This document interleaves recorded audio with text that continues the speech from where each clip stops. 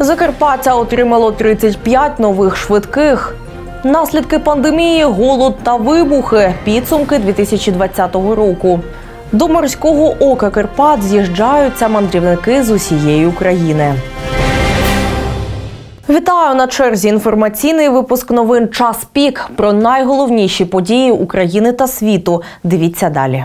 9699 нових випадків коронавірусної хвороби COVID-19 зафіксовано в Україні станом на 31 грудня. Зокрема, захворіли 341 дитина та 439 медпрацівників. Також за минулу добу госпіталізовано 2704 особи, а летальних випадків 209. Одужало 11 803 особи. За останню добу найбільша кількість підтверджених випадків зареєстрована у Києві. Київській, Запорізькій, Харківській та Одеській областях. На трасі Київ-Чоп зіткнулися три автівки. Смертельна аварія трапилася на Ужгородщині. За попередніми даними, внаслідок ДТП загинула одна людина. Поблизу села Глибоке Ужгородського району на автодорозі М06 трапилася дорожньо-транспортна пригода. Про це інформує патрульна поліція Закарпатської області. За попередньою інформацією, тут зіткнулося три автівки, дві Ауді та Міцубісі. Правоохоронці повідомляють про ускладнений рух на трасі. За попередніми даними, у ДТП загинула одна людина. 20 автомобілів швидкої допомоги сьогодні прибули на Закарпаття. Придбання автомобілів медичної допомоги передбачено спеціальною постановою Кабінету міністрів. Новий транспорт значно полегшить роботу медикам. Як зустрічали нові автомобілі, дивіться у сюжеті.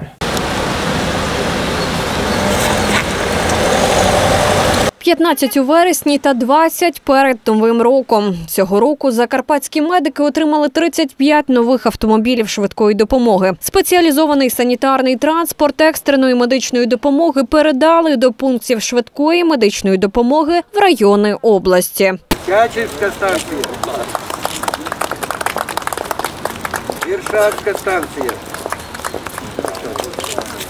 Це універсальний е, категорії типу Б для надання невідкладної екстреної допомоги е, з місця до е, лікувального закладу в повному обсязі, тобто необхідний є і апарат дихальний, і для транспортування, шини, ЕКГ, ну різних тих моментів, які ну мають бути по медико-технічних вимогах категорії Б машин. Вартість однієї такої швидкої майже 2 мільйони гривень. Гроші на закупівлю виділила Національна служба здоров'я. Швидкі отримали всі райони області. Сьогодні отримали новий автомобіль, який сподіваємося і впевнені буде приносити велику колосальну допомогу в нашій роботі і для потреб наших пацієнтів. Від стану санітарного транспорту часто залежить час прибуття бригади екстреної медичної допомоги на місце виклику та час транспортування пацієнта з місця події до закладу охорони здоров'я. Особливо це стосується гірської місцевості, де дороги є не всюди.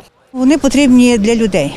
Для людей потрібні в якому плані? В такому, щоб вчасно надавати екстрену медичну допомогу. А щоб вчасно давати, тому що це потрібно і автомобілі, і працівникам буде занадто легше, як водіям, як фельдшерам, як лікарям, всім бригадам добиратися до певної точки самої крайньої нашого гірського району. Тому що точки дуже ну як казати, далекі. Придбані за державні кошти карати швидкої одразу після урочистої передачі поїхали працювати. Кабмін підписав угоди про розподіл продукції на семи нафтогазових ділянках із переможцями відкритих та прозорих аукціонів. Про це прем'єр-міністр Денис Шмигаль написав у Фейсбук. Шмигаль наголосив, що це історичний крок у сфері надрокористування. Сьогодні вперше уряд підписав угоди про розподіл продукції на семи нафтогазових ділянках із переможцями відкритих та прозорих аукціонів. Він також зазначив, що це надзвичайно успішний кейс, який дасть змогу залучити щонайменше 12 мільярдів гривень у видобуток газу.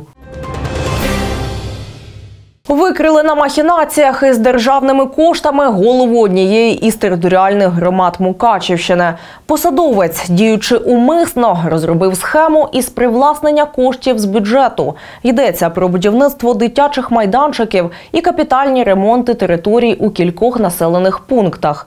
До офіційних документів посадовець вніс недостовірні дані, згідно з якими обсяги та вартість робіт було завищено. Унаслідок афери очільник сільради та його спільники змогли незаконно заволодіти майже 650 тисячами гривень державних коштів. Наслідки пандемії, голод та вибухи. Підсумки 2020 року вразили увесь світ. Чимало галасу здійняла й авіакатастрофа в Ірані і трагічний вибух у Бейруті. Війна між Вірменією та Азербайджаном у нагірному Карабаху викликала також немало обурення. Про масштабні протести у Білорусі також ніхто не забув. А от напередодні нового року у Нігерії взагалі настав голод. Тисячі людей штурмують продуктові магазини та склади. Причиною голоду стали карантинні заборони через другу хвилю пандемії COVID-19. Тож про підсумки нелегкого сценарію, який розгорнувся у світі цьогоріч, розповімо у нашому матеріалі. Тріумфи та невдачі, злети та падіння. 2020 рік став не лише для України, а й для усього світу хиткою сходинкою у нове життя пліч опліч із пандемією. 11 березня ВООЗ оголосила пандемію. Того ж дня в Україні запровадили карантин. Вже 13 березня в нашій країні зафіксували першу смерть від ковіду. Рекорди ставили не тільки спортсмени на змаганнях, так звані досягнення постійно фіксували і щодо вірусу вбивці. Втім, ковід із кожним днем продовжує забирати все більше життів. Кількість людей, які під загрозою опинилися у пасті підступної недуги, зростає з кожною секундою і цієї миті. Корона пандемія найважливіша, найгучніша та найболючіша подія 2020-го. Такою її вважають і 38% опитуваних українців. Втім, корона подія дала паростки новим негативним сценаріям, що спіткали світ, зокрема, всесвітня економічна криза, внаслідок закриття закладів через затяжний карантин, численні збитки підприємств, занепад бюджетів, також і медичний колапс, а саме заповнення ліжкомісць для хворих на COVID-19 на 100%. Чимало галасу здійняла й авіакатастрофа в Ірані. Там ракета збила Боїнг авіакомпанії МАУ, який прямував з Тегерана до Києва. Літак розбився вранці 8 січня, незабаром після виліту з іранської столиці. Жертвами катастрофи стали 176 осіб, усі, хто перебував на борту. Пізніше іранська влада повідомила, що причиною авіакатастрофи стала людська помилка під час налаштування радарної системи в підрозділі протиповітряної оборони. 4 квітня у Чорнобильській зоні трапилася масштабна пожежа. Вогонь могли опанувати тільки через 10 діб. А вже 17 квітня повітря у Києві визнали з найвищим рівнем забруднення. 30 травня відбувся запуск корабля компанії SpaceX бізнесмена Ілона Маска. Обрання президентом Сполучених Штатів Америки Джозефа Байдена також потрапляє в топ визначних подій цього року. Конфлікти між екс та чинним президентом продовжуються і досі. Трамп назвав Байдена фейковим президентом. Трамп заявив про перемогу Байдена завдяки фальсифікаціям. Байден звинуватив Трампа в неповазі до волі американського народу. Такими новинами всіяні стрічки у змі та у соцмережах. Натомість Дональд Трамп не визнає результатів виборів в США і досі. Раніше ж одіозний політик заявляв загалу, що програмне забезпечення компанії Домініон використали задля того, аби видалити дані про 2 мільйони 700 тисяч голосів, відданих на його підтримку. Влітку 22 червня західну Україну атакувала повінь. Тоді підтопило сотні дворогосподарств і на Закарпатті. Місцеві активно рахували збитки та намагалися врятувати бодай щось із власного майна. Менше з тим, війна між Вірменією та Азербайджаном у нагірному Карабаху викликала також немало обурення. Весь світ і досі спостерігає за вибуховими новинами з фронту. Вибух у Бейруті трагічна катастрофа, яка трапилась наприкінці літа, цьогоріч також вразила увесь світ. Його жертвами стали понад дві сотні людей. Це трапилося через вибух 2750 тонн селітри, яку зберігали в неналежних умовах.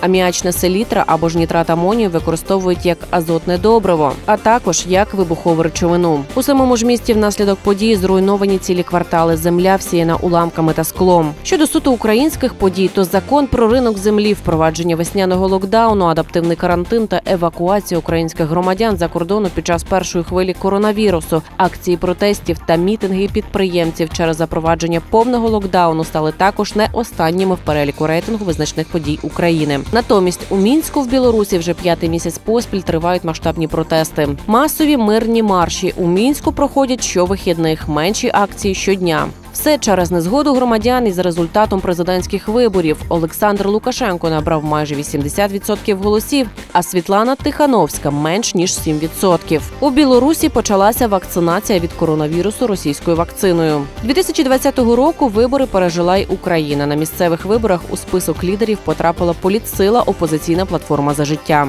Напередодні нового року у Нігерії настав голод. Тисячі людей штурмують продуктові магазини та склади. Причиною голоду стали карантинні заборони через другу хвилю пандемії COVID-19. Нігерійська влада заборонила роботу компаній, які поставляють у місцеві крамниці продукти та товари першої необхідності. Натовпи вийшли на вулиці у пошуках їжі. Окрім того, у Україні поселився дефіцит питної води. В ООН ще у вересні 2020 року попереджували, що через пандемію коронавірусу низка країн може потерпати від голоду. Зокрема, мовилося про Малі та Нігерію. Такими були підсумки 2020-го. Сподіваємося, що наступний рік подарує позитивні емоції.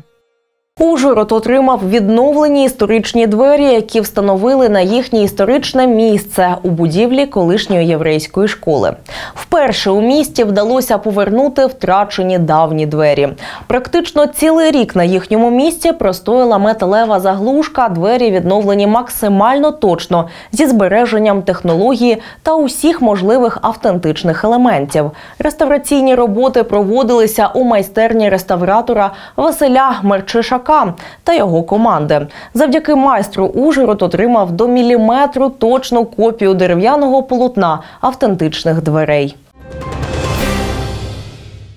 Циклон принесе потепління та опади, через що новорічна погода в Україні буде весняною.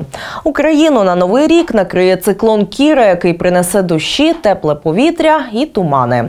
Температура повітря у денні години 1 січня буде коливатися у межах плюс 4, плюс 10 градусів за Цельсієм, зазначають синоптики.